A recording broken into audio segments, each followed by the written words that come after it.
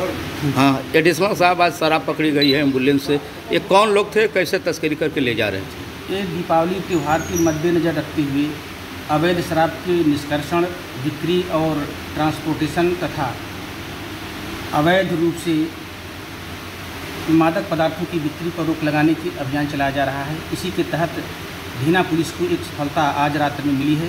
Dhina police द्वारा जनौली तिराहे पर चेकिंग की जा रही थी। उसी दौरान एक एंबुलेंस चौराहे के पास आती है। पुलिस को देख करके वापस मुड़ जाती है, उसे दौड़ा कर पकड़ते हैं। एंबुलेंस से चार लोगों को गिरफ़्तार किया जाता है तथा एंबुलेंस में बड़ी मात्रा में शराब बरामद होती है। तीन सौ इक्यानवे बोतल अवैध शराब और एक सौ बत्तीस कैन बियर उसमें से बरामद होती है। उनमें से एक व्यक्ति ब्रजेश कुमार के पास से एक अवैध तमंचा और कारतूस बरामद होता है। इनमें चार लोग थे, जिसमें कृष्णा शाह और राकेश कुमार बिहार के रहने वाले हैं। तथा ब्रजेश कुमार और बबलू यादव ये दोनों चंदौली के रहने वाले हैं। इनके खिलाफ मुकदमा पंजीकृत कर लिया गया है और इनको जेल भेजा जा रहा है।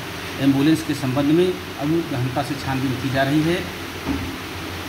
ये एडिशनल साहब कभी भारत सरकार लिखकर गाड़ी से शराब डकाया जाता है? कभी एंबुलेंस ये नहीं लग रहा है कि शराब तस्कर नए नए तरीके से डका रहे हैं और पुलिस उस पर क्या कार्रवाई कर रही है? निश्चित तौर पर जो ये तस्कर हैं वो विभिन्न प्रकार के मोडस ऑपरेंडी अपनाते हैं जिनमें से अब एक नया खुलासा हुआ है कि ये एंबुलेंस के माध्यम से भी शराब की तस्करी करा रहे हैं। यह एक अंतर्राज्यीय गिरोह है।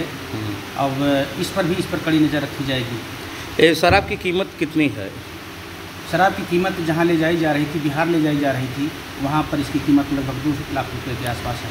ये जो पकड़े गए इनका इनका पहले भी आपराधिक कोई इतिहास है? अभी आपराधिक इतिहास इनका खंगाला जा रहा है लिखा जा रहा है।